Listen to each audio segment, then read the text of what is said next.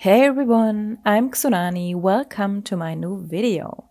In this video, I will test out the totally hyped new bleed-proof double-sided marker pad from Ohuhu. And I will compare it with the mixed media pad, also from Ohuhu. I have to say, it was hard to get in Europe for a long time, but at the moment, when I'm working on this video, you are able to get it easily on the Ohuhu homepage. I just had a look on their homepage. A few facts about this marker pad. It has 60 pages, 150 GSM, and you should be able to use alcohol markers on it without any bleeding through. This made me very curious. Perhaps you watched a few other videos yet about this new sketchbook and perhaps you think I don't need to know more about it, but what I'm doing today is a full mixed media test on this new sketchbook compared to a mixed media sketchbook. Yes, I know this is a marker pad, but for me, a sketchbook must work in different ways for all medias I like. I always would use alcohol markers with at least colored pencils, and then everything else what makes me happy at that moment. I don't use alcohol markers because in my sketchbooks it's annoying if they bleed through. And yes, that is why I'm not a pro. To be honest, I'm a noob with alcohol markers. In this video, I will also use my Ohuhu pastel set for the first time. Yeah, I know this is a lot for one video. And when I started to record this video, I had no idea where it brings me on my way here. I even had to cancel a little art haul part, what I planned in the beginning. It was too much in the end. And what you're seeing right now is me swatching the 48 pastel colors of the Blossom set. I cut it for you so we can concentrate on our main quest. Only a few facts. These are the markers of the Honolulu series. They have a brush and a chisel nib. They have a little rolling off the table stop plastic nose thingy. I don't know how to call it. And a gray ring on the brush tip side. So they should be easy to use in our workflows. Of course, even if the swatching paper here is very thick, the ink bleeds through. This is how we all know it.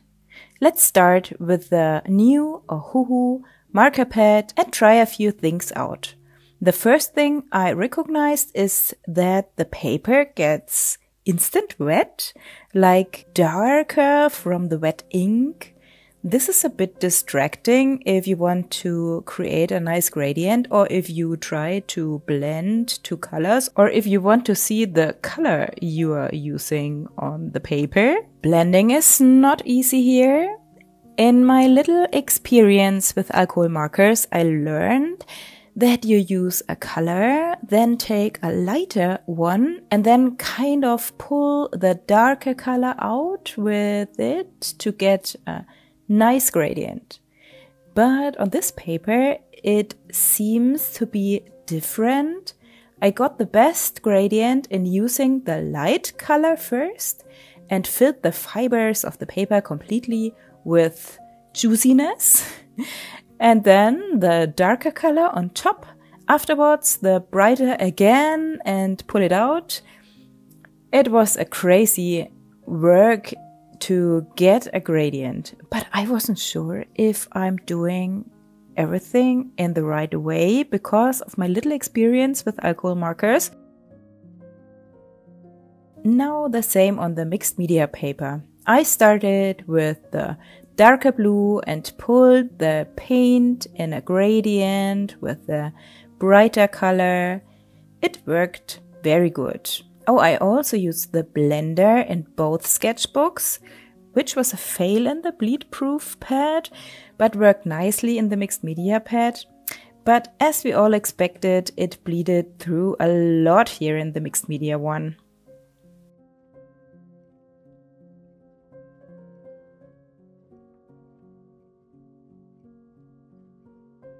Now I checked the backside, no bleeding through. This is what I expected, even if I worked hard and very long on a little tiny area of the paper. This is impressing, I think. Here I didn't give up. I tried other ways to make a nice gradient in the bleed proof one and you can see here that the paper gets dark because it's wet. It's very strange. You almost can't see your colors anymore. It's not the darker blue or the darker gray. It's kind of a grayish paper wet color. I don't know. Later I will get used to this and the paper and me will become better friends. You will see. When we come back to alcohol markers later, then I will paint in both sketchbooks a little piece of art after trying out other medias in here. But it was so much easier to blend the colors on the mixed media paper. Then in the end, I tested how much they flow in the paper that your painting won't look messy in the end. I mean, how soggy is the paper and the color spread on the paper. I hope you can understand what I mean. And here the bleed proof paper was the winner. The bleeding in the Faber stopped faster. We will see in my paintings later what benefit this is.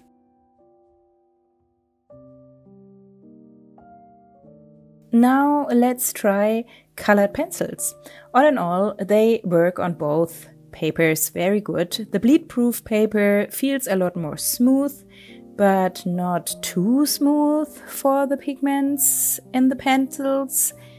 To draw with them on mixed media paper just feels more usual for me. Watercolor pencils and watercolor itself feels strange on the bleed proof because the paint and the water lays on top of the surface and doesn't suck more into the paper like it would have been impregnated.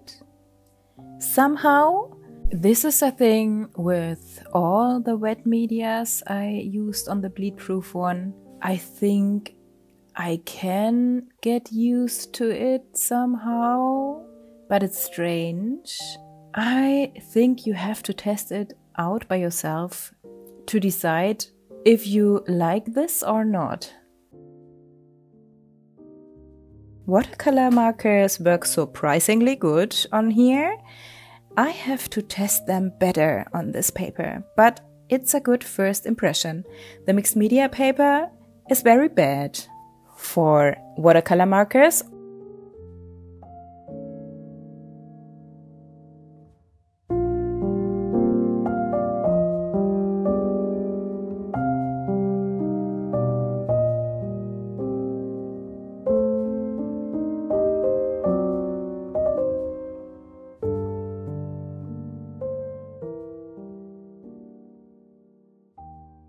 Also, the felt markers work perfect on the bleed proof one. Also good on the mixed media, paper,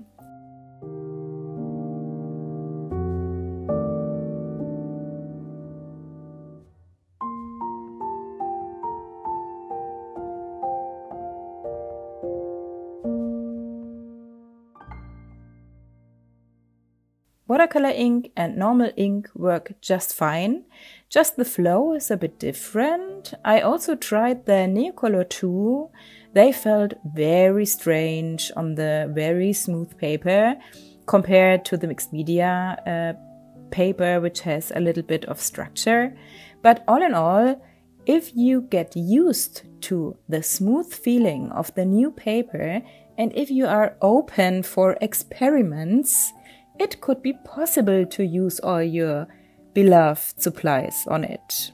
even if the supplies look a bit different as normal. At this point, I had no special opinion about this new sketch pad. I also wondered why it is so much hyped. Okay, there is no, absolutely no bleeding through. This is the truth. No matter what you are using and how much liquid you are using, it got a bit wavy under more water, but this is normal for a paper which is not especially made for uh, wet medias. But all these swatches doesn't tell us a lot if we wouldn't test the paper in using it for a little artwork.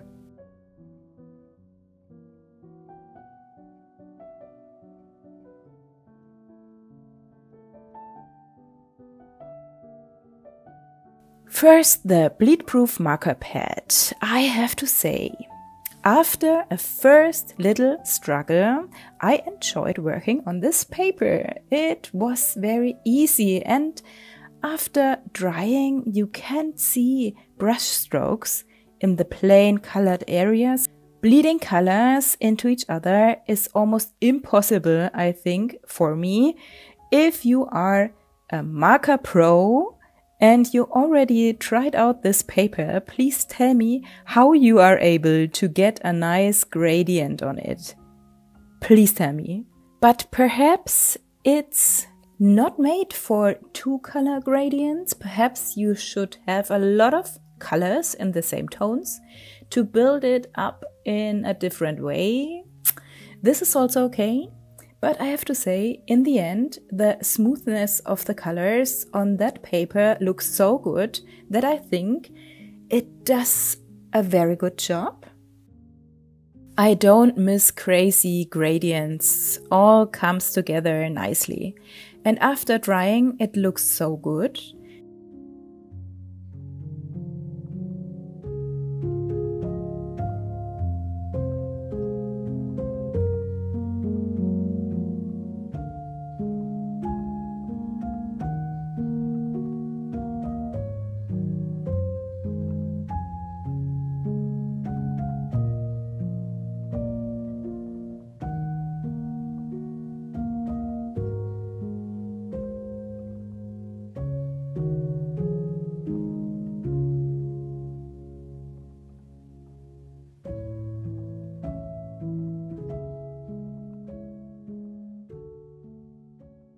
Now let's draw the details with colored pencils.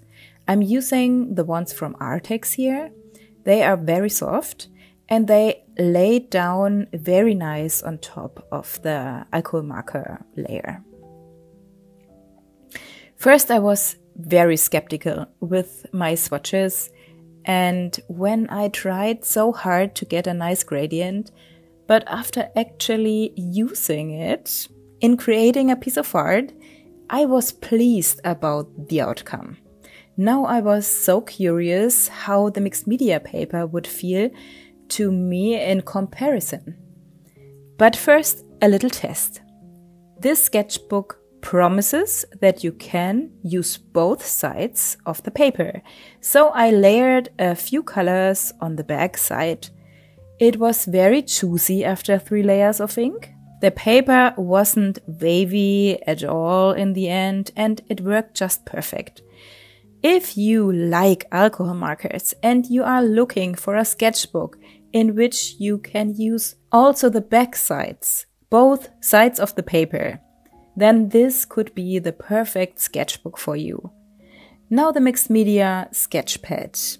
I have to say I struggled a lot with it after working on the bleed proof one. The paper is much more sogging the ink and I failed so much with the markers on it.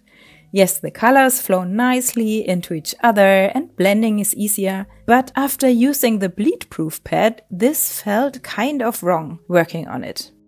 It also was fun, but the working process is a lot different between both sketch pads I'm not sure which one made me more happy in the end. I think I could use them both in my regular workflow. if I would become obsessed with alcohol markers. I'm not yet. But if I would, I would prefer the new bleed proof marker pad. Even if there are a few things which I don't like so much, like the really darker colors, if the paper is still wet, and the gradient thing, but everything else feels made for alcohol markers. I think I would have more fun with the mixed media pad right now because the paper feels more comfy for me somehow. Everything works how I expected. But then there is the problem again with the bleeding through. Yes, it's true. I'm kind of wrecked in this case. Both sketchbooks are really good. They both have their benefits, so it's hard to recommend one of them more than the other to you or to pick a winner. The bleed proof pad lives up to its promise. And it's awesome to have a paper here which has all this alcohol marker benefits you need if you like alcohol markers.